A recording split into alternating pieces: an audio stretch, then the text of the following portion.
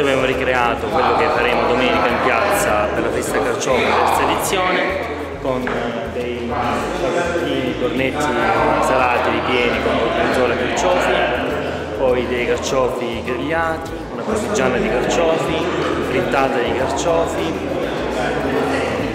per finire i carciofi con patate al forno. Lo puoi fare sia arrosto che bollito, grigliato, al forno, saltato, in padella, con la pastella, a bagnomaria, con le patate. Centro Mesagni, la terza edizione della festa del carciofo 2013, domenica 14 aprile.